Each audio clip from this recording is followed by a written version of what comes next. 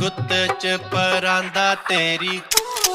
ਤੇਰੀ ਗੁੱਤ ਚ ਪਰਾਂਦਾ ਸਾਡੇ ਹੱਥ ਚ ਰੁਮਾਲ ਨਹੀਂ